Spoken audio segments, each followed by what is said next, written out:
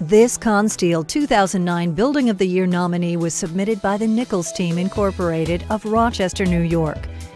Beautiful use of color and lines makes this 30,300 square foot fitness education center stand out on the historic campus of the Aquinas Institute of Rochester.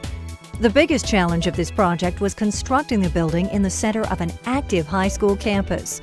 Site work and traffic flow changes had to be made over summer break to coordinate with the school's highly active summer athletic program. Once classes were in session, the building team worked closely with the school superintendent to maintain safety and minimize the impact of the project on students and faculty. Due to the low load-bearing capacity of the existing historic building structure, the new building could not place any load-bearing weight on the adjacent structure.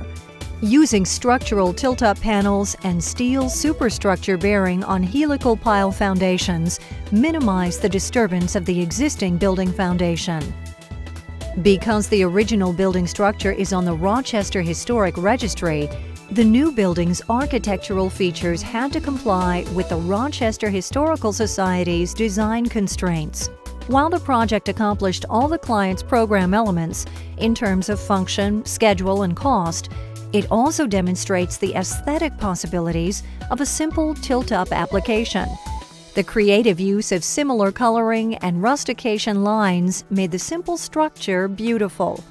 The building team achieved a design solution that complemented the existing structure's architecture at a very affordable cost. The owner chose Tilt Up based on the Nichols team's reputation as the premier design builder in the market. Other factors included durability and speed of construction.